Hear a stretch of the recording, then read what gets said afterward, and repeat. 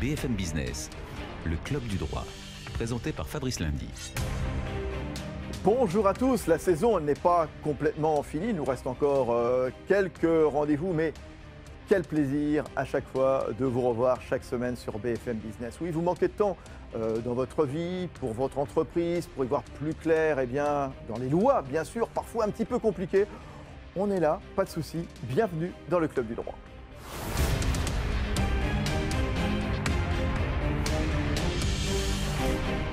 Et comme à chaque fois, le plein d'infos pratiques, d'infos juridiques, gros plan dans un instant, ce sera l'acte de la semaine sur les donations dans le cadre des familles recomposées. Vous aurez la parole également au travers des questions que vous nous avez laissées sur le club du droit bfmbusiness.fr.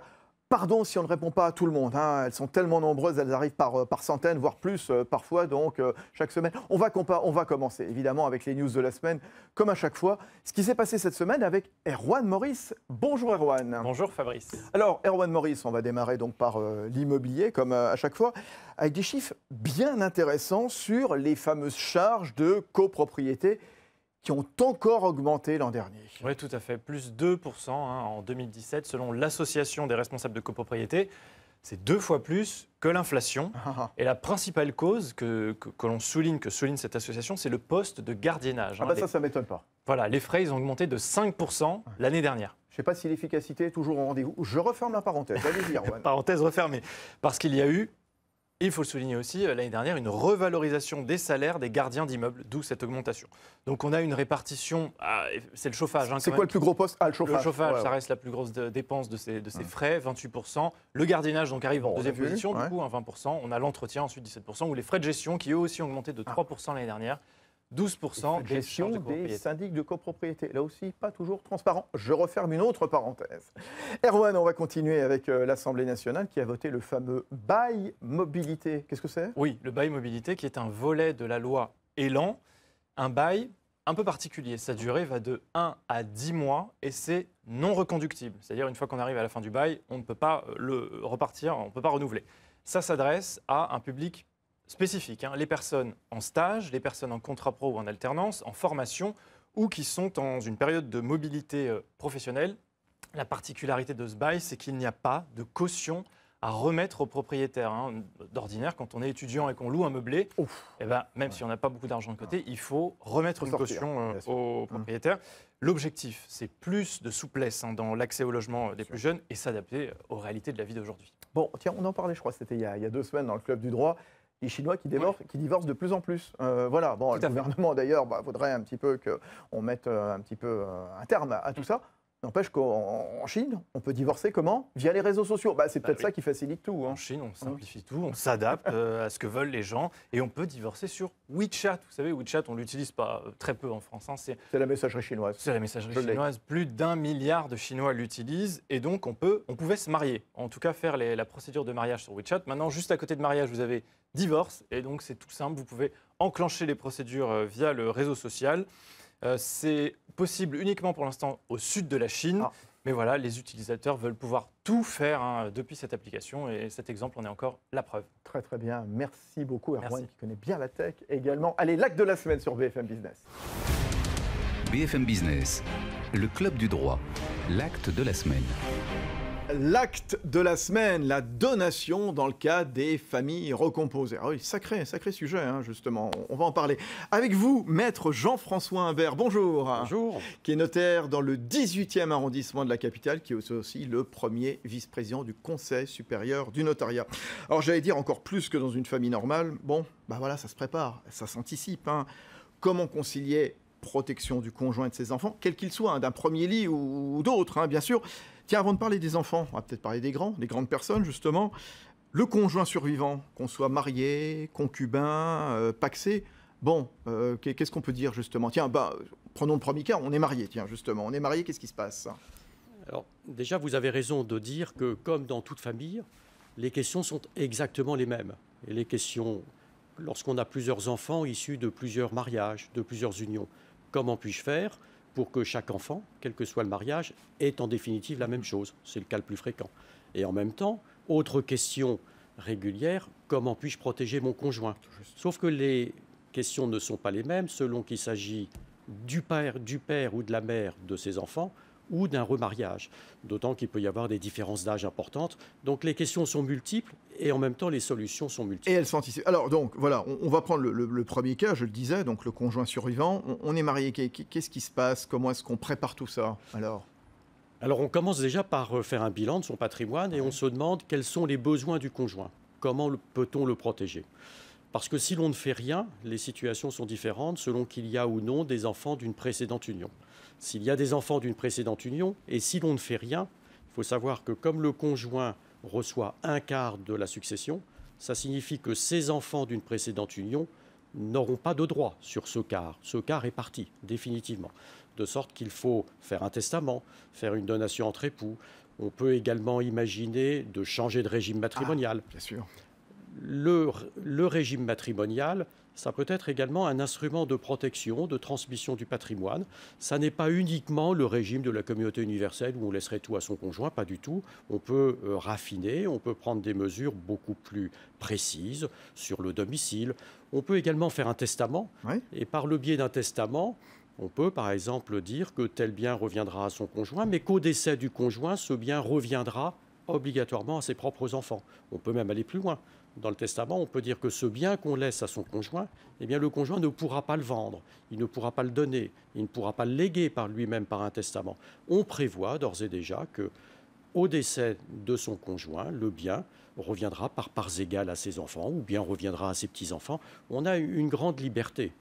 Oui, alors là, on a parlé du testament, on a parlé d'aménager le régime matrimonial. Je voudrais qu'on revienne juste sur euh, ce dont vous parliez, la donation, euh, la donation au dernier vivant, la, donation entre époux, qui permet quelque part, on l'a souvent dit ici dans ce club du droit, d'améliorer la situation du conjoint survivant. Euh, qu'est-ce qu'elle va permettre justement? Est-ce que c'est est-ce que c'est une meilleure solution qu'une autre, à votre avis? Alors prenons une hypothèse assez classique où cette fois-ci il n'y a qu'une seule union et on veut protéger son conjoint au-delà de ce que prévoit la loi. Et la donation entre époux, ou qu'on appelle également donation donc, on rappelle la, loi, ce qu'elle prévoit, ce que vous disiez tout à l'heure, donc c'est... Il y a un seul conjoint, il y a des enfants de la même union, par conséquent, euh, le conjoint reçoit à son choix l'usufruit des biens, c'est-à-dire la jouissance des biens sa vie durant, ou un quart en pleine propriété. On fait un partage avec les, les enfants. Hmm. Mais la donation entre époux, dans ce cas, va permettre d'aller soit plus loin, soit au contraire moins, moins loin. Soit plus loin, parce que le conjoint finalement ne souhaite pas avoir l'usufruit de tout, mais il souhaite finalement faire un partage. Il y a deux enfants, c'est un tiers pour chacun. Euh, ou bien donc on peut mélanger quoi. Le conjoint peut souhaiter avoir beaucoup plus, c'est-à-dire un quart en pleine propriété et tout le reste en jouissance. À l'inverse, le conjoint, en vertu de la donation au dernier vivant, pourra au contraire restreindre et dire eh bien l'usufruit, je ne le prendrai que sur la résidence principale. Pour le reste, je le laisse euh, aux enfants. Et pourquoi est-il important de laisser ce choix? Parce qu'avec la donation entre époux, c'est le conjoint qui va choisir, qui va choisir en fonction de son âge, en fonction de l'âge des enfants, en fonction de ce que les enfants ont déjà reçu ou pas reçu, en fonction de critères fiscaux. Donc tout un tas d'éléments qui sont pris en considération pour que le règlement de la succession puisse se faire de la façon la plus fine possible. Harmonieuse, bien sûr. Ça, ça se dit, ça s'écrit, hein, évidemment, ça s'officialise, euh, Maître alors, Alors, s'il y a un conseil que l'on peut donner à tout le monde, c'est surtout d'anticiper, d'en parler déjà à son notaire, de façon à expliquer quelle est la situation, parce qu'il peut se poser également la question du rééquilibrage des droits entre les enfants. On a aidé tel enfant à un moment, pas les autres, pas de la même manière, donc il faut rééquilibrer. Et puis surtout, il ne faut pas hésiter à en parler à ses enfants, de manière à ce que le jour où on disparaît, les enfants comprennent pourquoi une disposition a été prise. Et qu'il n'y ait pas euh, bien une rancœur. Et qu'ils ne se disent pas que parce que j'ai laissé quelque mmh. chose à tel de mes enfants, c'est que je le préférais. Pas du tout.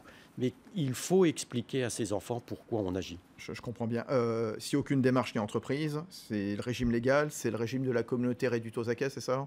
Absolument. Donc évidemment, qui peut être plus ou moins, j'allais dire, euh, facilitateur. Là, on en parlait du, mariage, on va reparler des enfants dans un instant, mais si on est concubin, si on est paxé, euh, quelles sont les règles, euh, Maître Imbert?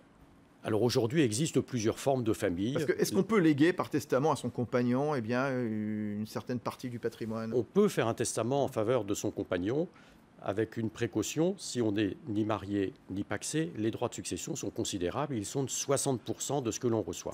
Mais si l'on est paxé, il n'y a pas de droit de succession comme si, l'on était marié. Seulement attention, parce que les enfants peuvent contester ce testament parce que ce testament porterait atteinte à ce que l'on appelle leur réserve héréditaire. Mmh. La réserve héréditaire, c'est le droit de recevoir un minimum en pleine propriété. Donc il faut faire très attention sur la conséquence de ce testament et de se demander si les enfants pourraient le contester. Alors, dans le cadre de ce club du droit, l'acte de la semaine, on, on continue, c'est intéressant en tout cas, la donation dans le cadre des familles recomposées. N'oublions pas les enfants aussi, euh, Jean-François Imbert, hein, euh, parce qu'il y a des- enfants de toutes sortes. Il y a les enfants d'une première union, il y a les actuels également. Et finalement, la question se pose, c'est comment transmettre son patrimoine sans que les aînés, les premiers finalement, soient lésés, voire qu'ils soient mis finalement sur le même plan d'égalité que les nouveaux enfants.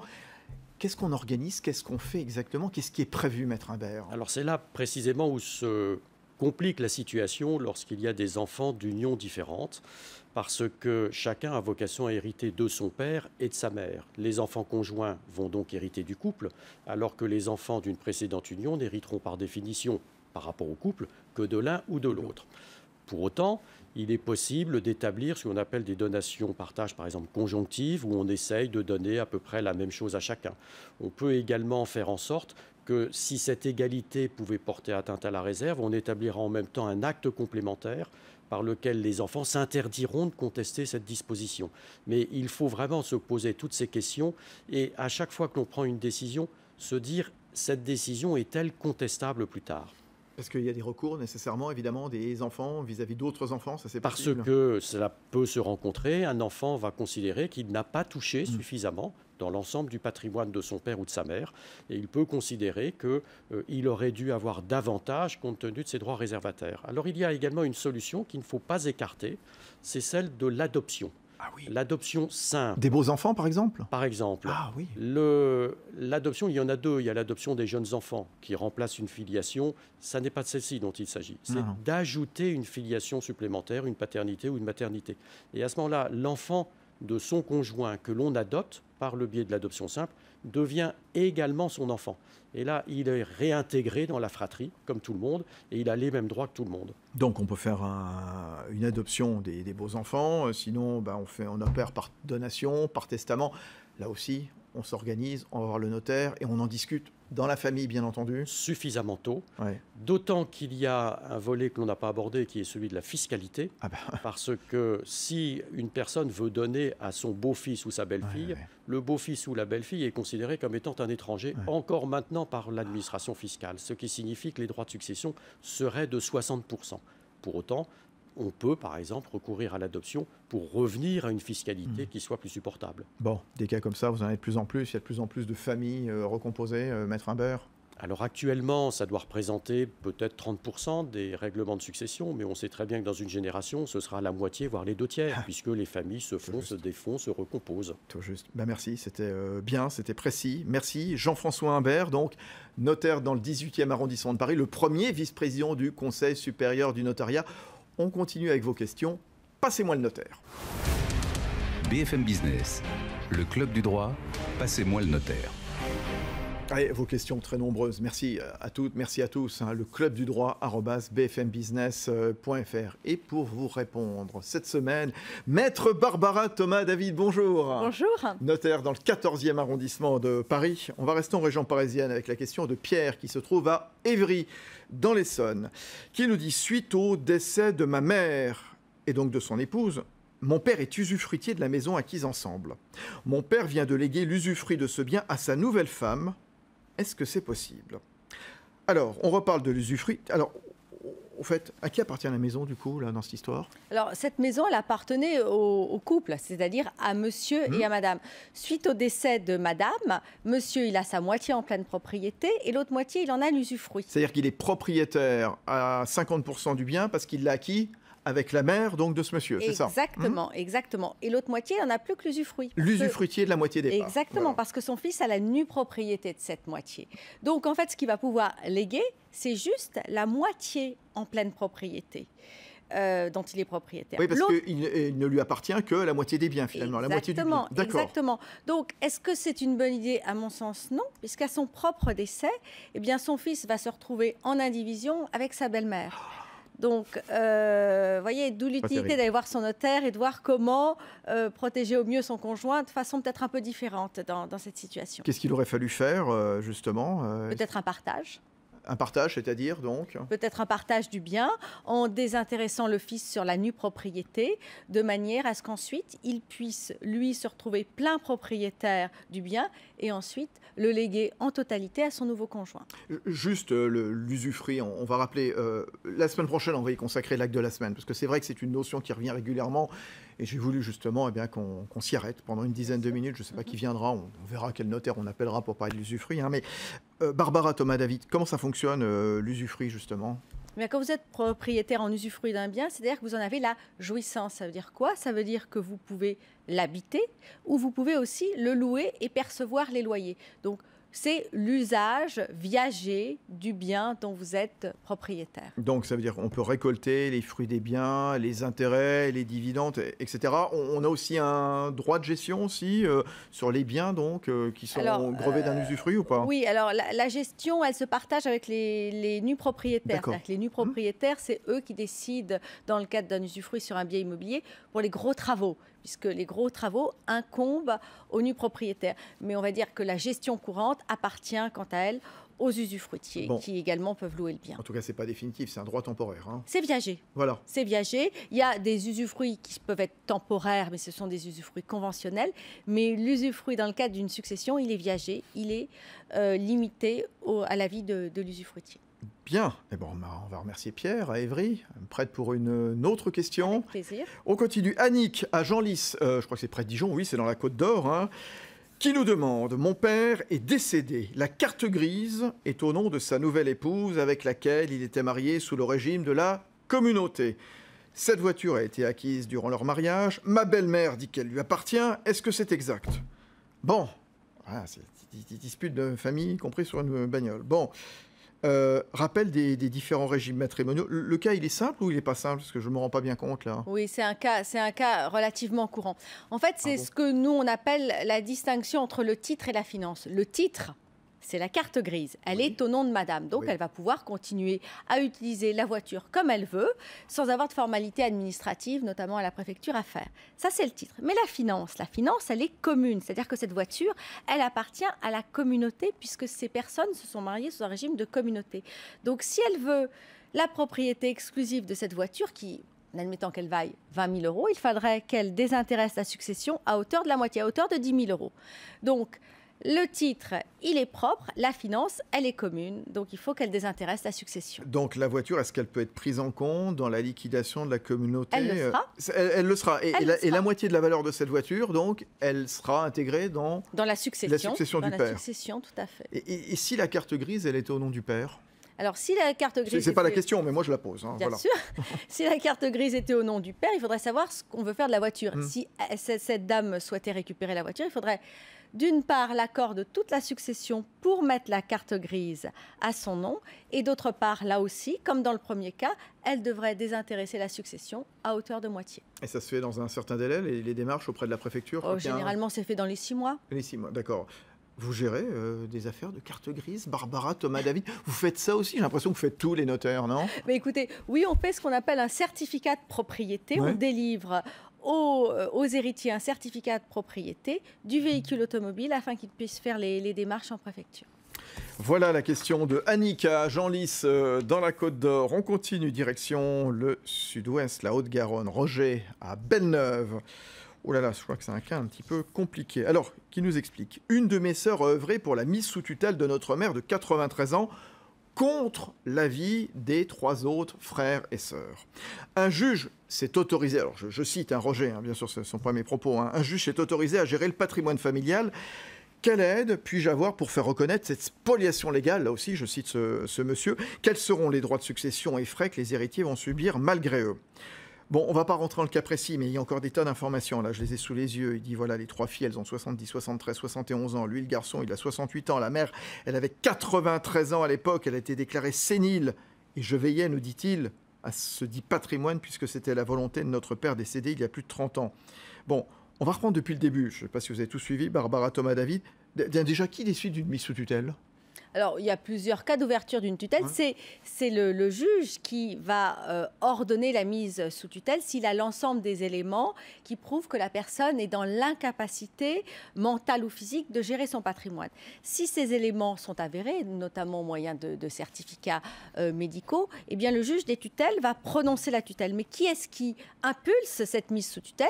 C'est soit un membre de la famille, soit... Peut-être l'un des frères, là, apparemment. Là, voilà, soit un membre de la famille, soit un procureur l'horreur par l'intermédiaire de tiers, par mhm. exemple un médecin qui peut euh, être euh, alerté par euh, l'état de santé d'une personne. Mise sous tutelle, ça va être quoi les, conséquences ensuite Qui va gérer le, patrimoine? Parce que là, il, nous dit, Roger, un juge est autorisé à gérer le patrimoine familial. Alors, je sais pas. Non, c'est pas, c'est pas exactement ça. À partir du moment où le, où le juge va prononcer une mise sous tutelle, il va nommer un gérant de tutelle. Alors, ce gérant de tutelle, ça peut être un membre de la famille, mais visiblement, dans le cas qui nous occupe, c'est un gérant de tutelle professionnel. C'est une personne extérieure qui va s'occuper de gérer l'actif et de euh, payer les, dettes de la personne sous, tutelle. comment est-ce qu'on gère le patrimoine d'une personne dépendante? Parce que question qui va se poser de plus en plus compte tenu du vieillissement de la, population euh, française, hein, là aussi, toujours et tout est question d'anticipation. On en parlait tout à l'heure encore avec Maître Imbert concernant les, donations dans les familles recomposées. Barbara Thomas David, notaire à Paris 14e. Bon, donc euh, c'est vrai que la mise sous tutelle, c'est une mesure extrême. Ultime. Hmm. Ultime. Mais euh, dans les familles qui s'entendent bien, il est tout à fait possible, par exemple, de recourir à un mandat de protection future. Donc ça, c'est un acte qui permet de dire, voilà, euh, je suis en pleine forme en ce moment, je suis en parfaite santé, mais voilà ce que je souhaite. Au cas où.